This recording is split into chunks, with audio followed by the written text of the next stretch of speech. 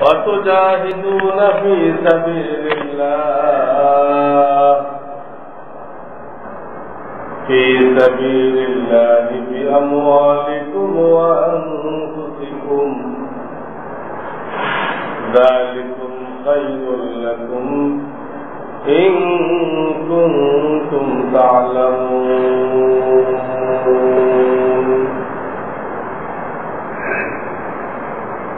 وقال رسول الله صلى الله عليه وسلم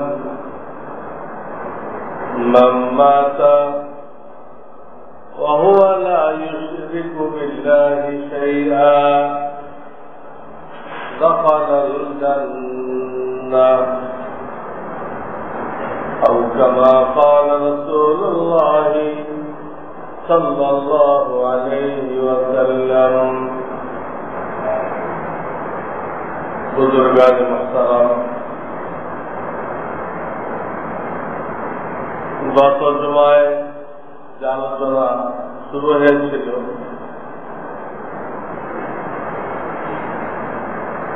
যে হাজি সাহেবানরা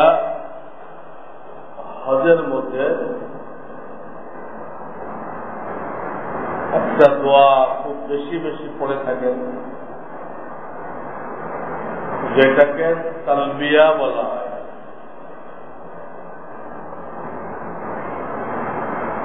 নর্মাল ভাবে জিকির হিসেবে ওইটা পড়া যায় নেই।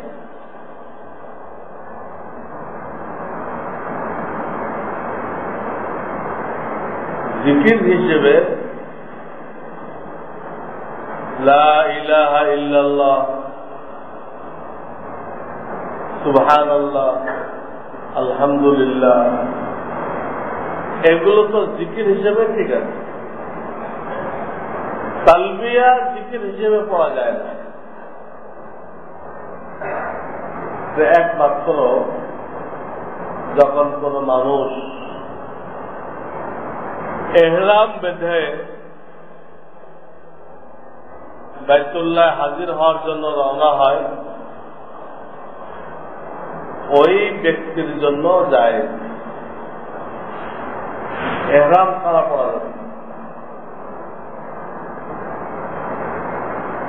পড়া যাবে না, এই অর্থ না উচ্চারণই করা যাবে না। লোকদেরকে শিখাইতে হয়। লোকদেরকে তালবিয়ার মাসালা বলতে হয়। তখন তোদের উচ্চারণ করতে হয়। সেটা নিষেধ না।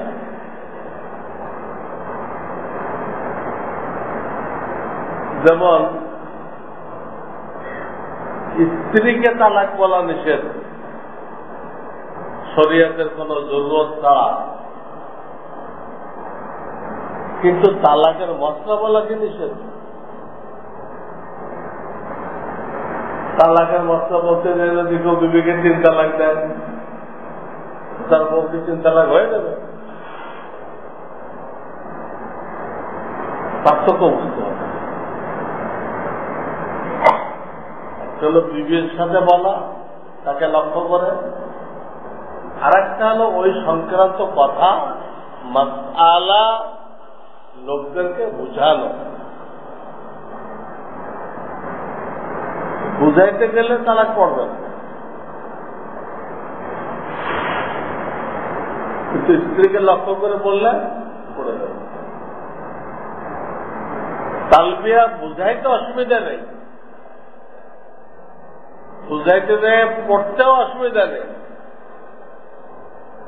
কিন্তু বোঝানোর কোন প্রয়োজন নেই। আপনি অন্য জিকির বাদ দিয়ে এটাকে জিকির বানাইলেন। লব্বাইক আল্লাহ লব্বাইক, এটাই আপনার জিকির। তাহলে যায় নেই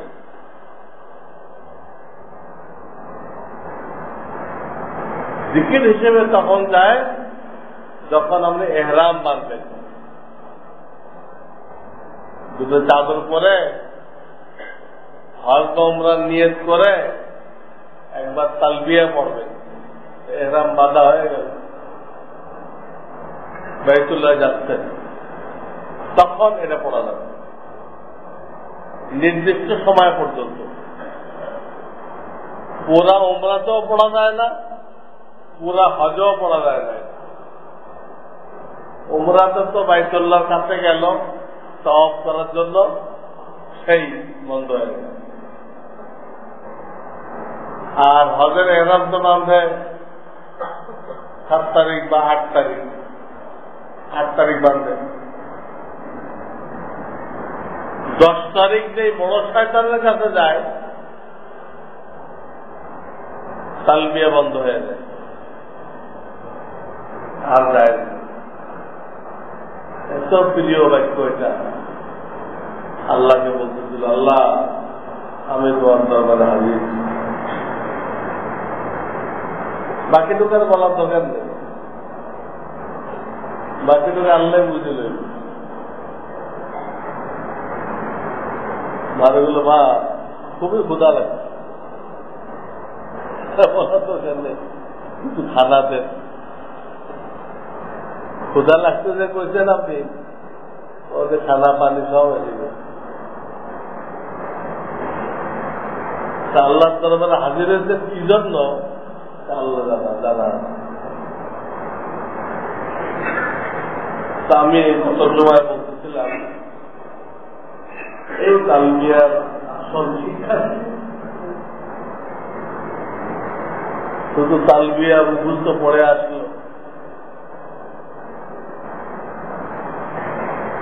এটা প্রত্যেকে আলাদা পড়তে হয়। পুরুষরা আওয়াজ করে, মেয়েরা লোকেরা মানে না। একজনকে লিডার বানায়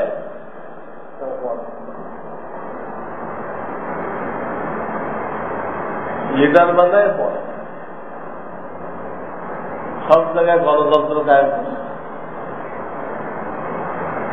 মিছিল করে একজন এক ওই সাথে মিলে বাকিটা বলে। ওইটা এখন সাপ্তাহিক ডিগ্রির মধ্যে চলে গেছে লিডারশিপ তালবিয়ার মধ্যে চলে গেছে। গলত করে। রাস্তা সে এটা শিক্ষা এইটা কোন হাদিসাব যদি না বুঝে তাহলে তালবিয়ার ষোলোয়ানা ফায়দা তার হাসিল হবে না। করে হজ করে এর দ্বারা যে ফায়দা হওয়ার কথা ছিল আল্লাহ নৈকট্য লাভ করার কথা ছিল, সেটা হবে তালবিয়ার দাবি বুঝতে হবে সহি ইমান শিরিক মুক্ত ইমান গত জমা তো আমি এই ব্যাপারে কিছু আলোচনা করেছিলাম। সহি ইমান কি জিনিস? শিরিক মুক্ত ইমান কি জিনিস? আমরা ছেলেবেলা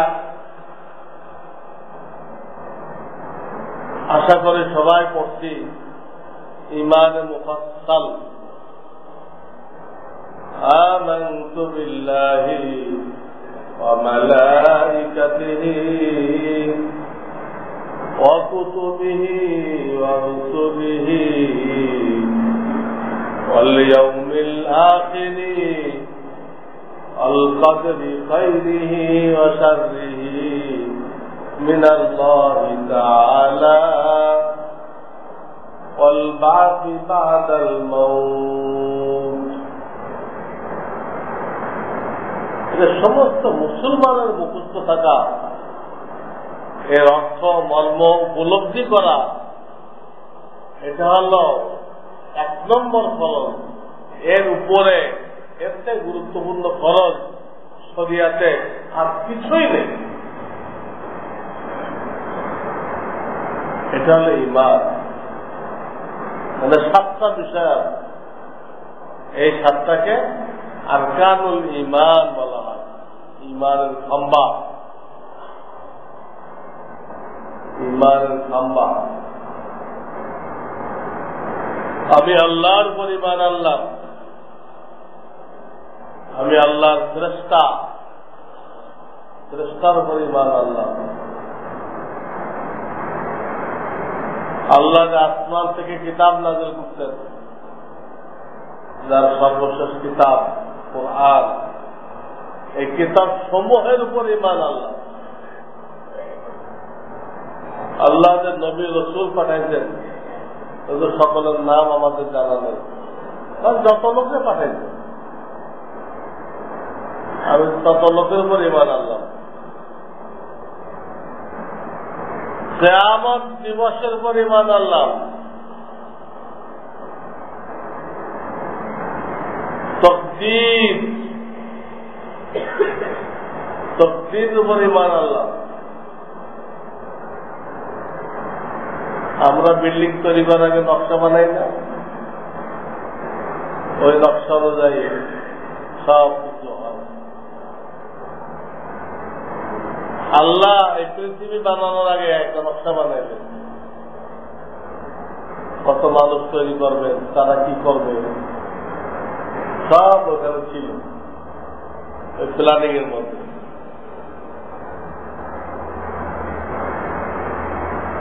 ওটা তকদির। আল্লাহর কুদরতি ডায়েরি এগুলো বিশ্বাস করে, তারা করে জানে না। সব আল্লাহর পক্ষ থেকে। কি নিয়ে করে জানাবে সব আল্লাহর পক্ষ আর সাত নম্বর হল, মারা যাওয়ার পরে আবার জিন্দা করা হবে, জীবনের হিসাব চাওয়া হবে। তোমাকে আশরাফুল মখলুকাত বানানো হয়েছিল। তোমার জন্য পুরো সৌর জগৎকে খিদমতে লাগানো হয়েছিল। সবকিছু তোমার কাজের ছিল। তোমাকে জ্ঞান গরিমা, ধন দৌলত, ইজ্জত আবরু, বাপমা, বিবি বাচ্চা, আল আওলাদ ঘর বাড়ি এগুলো দেওয়া হয়েছিল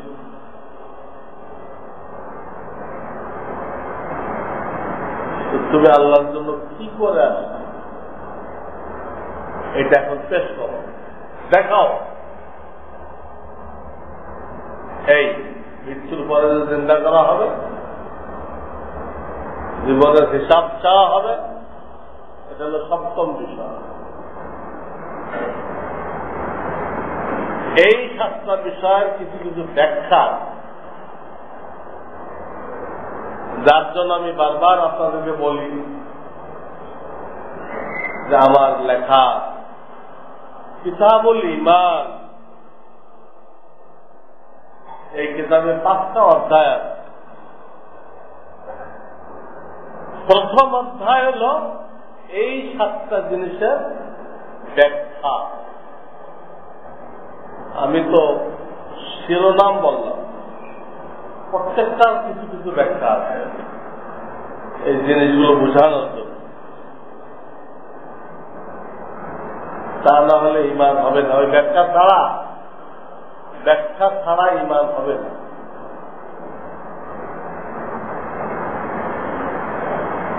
প্রত্যেকটা।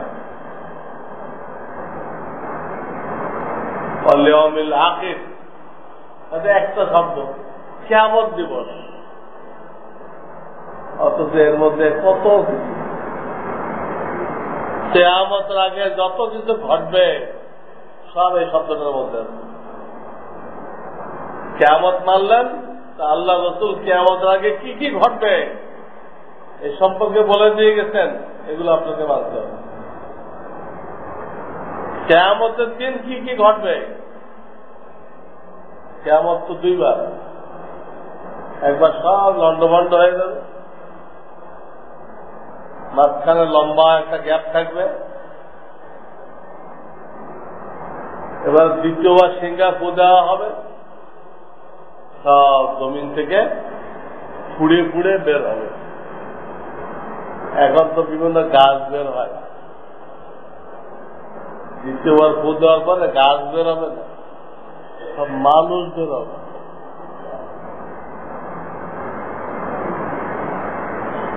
সূর্য মাথার মধ্যে।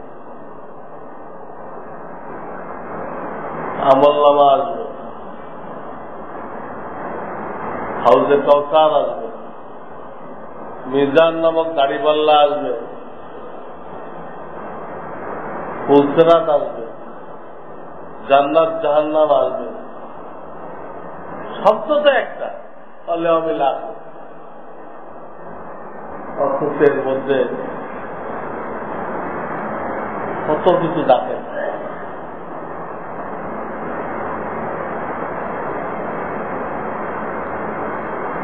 এই সাতটার কিছু কিছু ব্যাখ্যা ব্যাখ্যা সহকারে এগুলো অন্তরে বিশ্বাস করতে হবে। মুখে স্বীকার করতে হবে।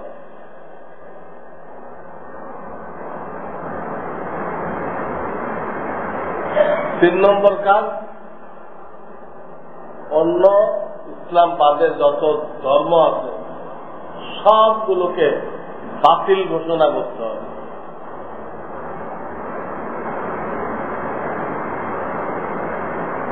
চার নম্বর কাজ ইমানের ব্যাপারে এমন কোন ব্যাখ্যা দেওয়া যাবে না যে ব্যাখ্যা আল্লাহ রসুল দেন তাহলে সে বেইমান হয়ে যাবে।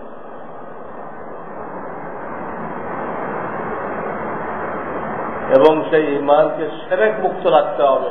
মৃত্যু পর্যন্ত সেরেক মিশানো যাবে না। ইমানের সাথে কোন সেরেক আল্লাহ জিনিস আর একজনকে দেওয়া। আল্লাহর সাথে শরিক করা। আল্লাহর জিনিস আর একজনকে দেওয়া। সেরেক। এই সাতটা বিষয়ের ব্যাখ্যা জানতে হবে। সেই ব্যাখ্যা সহ এই চারটে কাজ। আমি হালকা হালকা ব্যাখ্যা বলব। আসলে আপনাদের দায়িত্ব কেবল ইমান সবসময় দেখতে থাকা, ঘরে আলোচনা করা। আমি ব্যাখ্যা দিব ইনশাআল্লাহ। এই ব্যাখ্যা সহকারে এই সাতটা পয়েন্ট অন্তরে বিশ্বাস করতে হবে।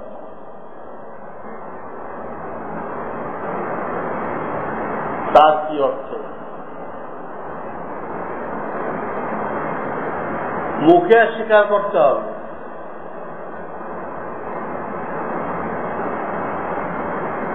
অন্য সকল ধর্মকে বাতিল ঘোষণা করতে হবে।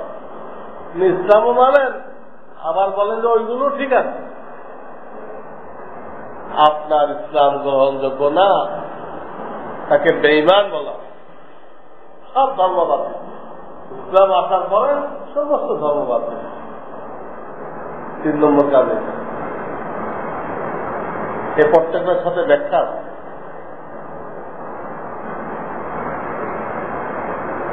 ইমানের বিষয় এমন কোন ব্যাখ্যা দেওয়া যাবে না যে আল্লাহ রসুল থেকে নেই। চার নম্বর কাজ। আর মৃত্যু পর্যন্ত ইমানকে রক্ষা করতে হবে। শিরিক মুক্ত রাখতে হবে। সঠিক বিশ্বাসের উপরে কায়েম থাকতে হবে। এরকম না যে একবার ভালো করে ইমান আনলাম, এবারে দায়িত্বটাই করলাম। মন্দিরে লিপ্তার দিলাম। হ্যাঁ?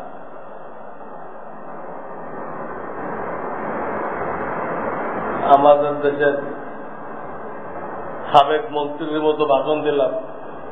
একবার ইমান আনা পরে এই মন্ত্রীর মতো ভাষণ দিল থাকবে কিছু?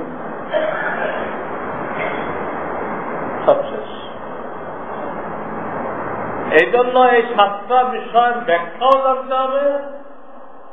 আবার সাতটা বিষয়ে যে কয়েকটা করণীয় বললাম। অন্তরে বিশ্বাস মুখে শিকার, অন্য ধর্মকে বাতিল মনে করা,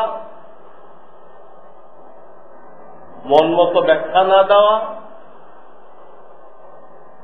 ইমানের সাথে সেরেক না মিশানো। এই কথাগুলো ব্যাখ্যা করতে হবে। ওখানে সাতটা, আর সাতটার ব্যাপারে করণীয় কাজ পাঁচটা। তখন যে একটা লোকের সাহাবাওয়ালা ইমান হবে। আর সাহাবাওয়ালা ইমান যখন হবে, এই লোকটার আমল থাকুক বা না থাকুক, সে এক সময় জান্নাতে চলে যাবে। শুধু ইমানের এত বড় পাওয়ার শুধু ইমান। যেটা মানুষকে জান্নাতে পৌঁছায় দেয় হ্যাঁ আমলের ত্রুটির কারণে অস্থায়ী দোজক হতে পারে। দোজকে যেতে পারে সে স্থায়ী না। কোন ইমানদার স্থায়ী দোজকে যেতে পারে না। ইমানের সাথে স্থায়ী দোজক হবে না। অস্থায়ী যেতে পারে। কাফেররা যাবে শাস্তির জন্য, এ যাবে পবিত্রতা অর্জনের জন্য কাফেররা দোজকে যাবে শাস্তির জন্য, আর এ যাবে পবিত্রতা অর্জনের জন্য গোড়ার ময়লা রয়ে গেছে। ময়লা সাফ করতে হবে। স্বর্ণ আগুনে দেয় কেন? আজাব দেওয়ার জন্য? না স্বর্ণকে পিওর করার জন্য? ওর মধ্যে যে বিভিন্ন ধাতব পদার্থ আছে, এগুলো আলাদা করার জন্য মমিন এই জন্য নয়। ইমান, এত বড় সম্পদ, শুধু এটা দিয়ে মানুষ জানতে যাবে। আর আল্লাহ না করুন এই সাত বিষয়ের উপরে পাঁচ রকম মেহনত যদি না হয়ে থাকে তো সই শুদ্ধ ইমান হয় নাই। সেরেক মুক্ত হয় নাই। সেরেক মুক্ত ইমান হয় নাই। এই অবস্থায় সে যত নামাজ পড়ুক, যত তাহাজুদ পড়ুক, যত কোরআন তেলাদ করুক, যত হজ করুক, যত উমরা করুক, যত লক্ষ কোটি টাকা দান খয়রাত করুক, সব মাটি। ইমানে কোন ত্রুটি বের হলে সব মাটি। আপনার এই পয়লা কাতারের নামাজ কোনো দাম নেই। বাইতুল্লাহর হজ কোনো দাম নেই। ইমান না থাকায় সব অনর্থক, সব বেকার হয়ে গেছে। সব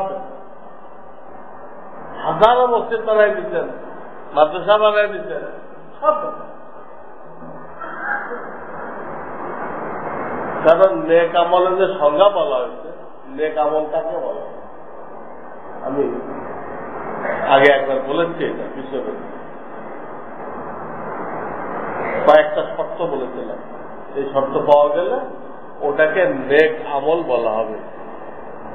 এক নম্বর শর্ত, ওই লোকটার ভিতরে সহি ইমান থাকতে হবে। কাফের যদি হাসপাতাল বানা যায় এটাকে নেক আমল বলা হবে তো কাফের হাসপাতাল বানায় দিল। হাজার লাখ লোক সেখান থেকে উপকৃত হল। এটা কোন নেক আমল না।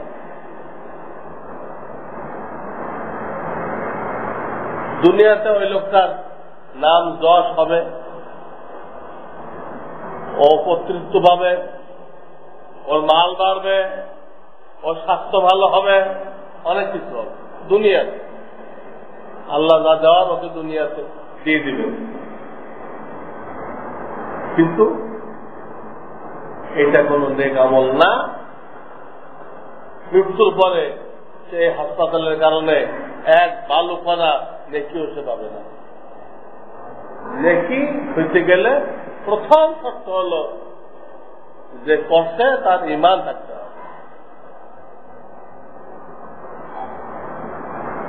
আর ইমান আল্লাহ সাহাবায় গ্রামের সাথে মেলাবেন। কোরআনে বলে দিয়েছেন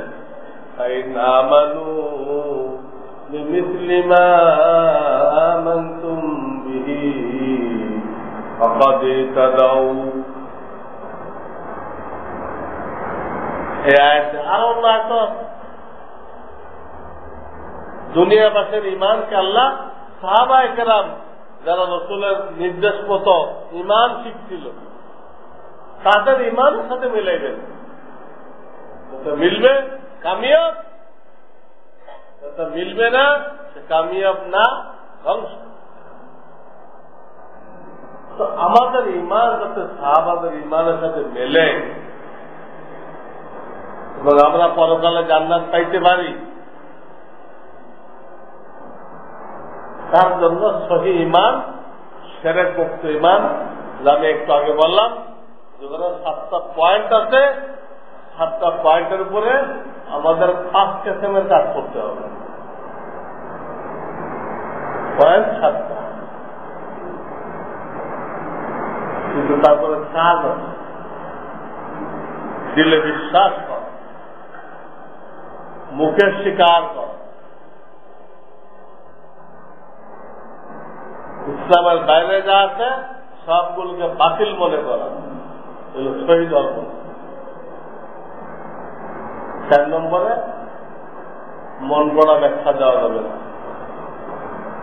কাদিয়ানিরা মন গড়া ব্যাখ্যা শিয়ারা ব্যাখ্যা করবে সাত নম্বরে ইমানের সাথে শিরিক মেলানো যাবে। যেটা আল্লাহর প্রাপ্য, ওটা কোন মানুষকে দেওয়া যাবে না। পীরের দরবারে মান্নত মানলেন। মান্নত ইবাদত। ইবাদত আল্লাহর প্রাপ্য। এটা আপনার পীরের প্রাপ্য। দোয়া আল্লাহর প্রাপ্য। মাজারে দেয় দোয়া করলেন। মাজার আল্লাহর কাছে দোয়া করলেন। আপনি এই মাজারওয়ালাকে নিয়ে আল্লাহ কুর্সিতে বসাই দিলেন, আল্লাহর চেয়ারে বসাই দিলেন। আল্লাহর স্থানে রাখলেন। এটার নাম সেরেক। এটার নাম সেরেক। তো আজকাল ব্যাখ্যা সম্ভব না। ইনশা আল্লাহ আল্লাহ তফিক দিলে এই সাতটার ব্যাখ্যা করা হবে। যতটুক না হলে নয় এতটুক ব্যাখ্যা এবং সাতটার মধ্যে পাঁচটা কাজ, এটারও ব্যাখ্যা করা তখন আপনি ইমান সম্পর্কে ক্লিয়ার একটা ধারণা পাবেন যে এইগুলো ইমান আমাদের সমাজে ইমানের কোন আলোচনা, উল্লেখযোগ্য তেমন কোন আলোচনা নেই। কেউ বললেও আংশিক কিছু করে এক সাইড দিয়ে। একটা সাইড দিয়ে কিছু কিছু আলোচনা করা হয়। পূর্ণাঙ্গ আলোচনা কোন গ্রুপ, কোন জামাত, কোন খানকা, কোন অজনাফিল কোথাও হয় অথচ কোরআন সুন্নার দাবি হল এইটার আলোচনা সবচেয়ে বেশি বড়। লোকদের ইমান সহি হয়ে যায় ইমান সহি হয়ে গেলে আর সেই দেশে ক্রাইম থাকে অপরাধ থাকে। এক লোকের ইমান সহি হয়ে যায়, সে বিশ্বাস করে, আমার প্রত্যেকটা কর্মকাণ্ডের হিসাব দিতে হবে। সে চুরি করবে, ডাকাতি করবে, মিথ্যা কথা বলবে, ধোকাবাজি করবে চিন্তাই করবে, অসম্ভব। ইমান সই হয়ে গেলে সেই জাতি কেমন জন্য জান্নাতে বসবাস করতে তাদের দুনিয়া জান্নাতে পরিবর্তন হয়ে যায় যেমন নবী আলাইসালামের হ্যাঁ মদিনার জীবন এরকম কিছু মদিনার জীবন একটু বেশি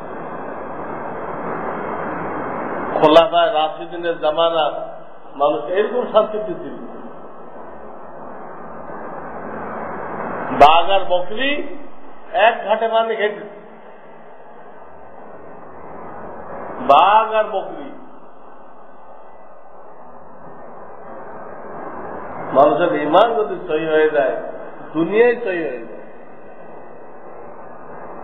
কিন্তু এত অন্যায়, অবিচার সব কিছু ঘোড়া হলো মুসলমানরা ইমান শব্দটা জানে, এর কোন ব্যাখ্যা ট্যাখ্যা কিছু জানে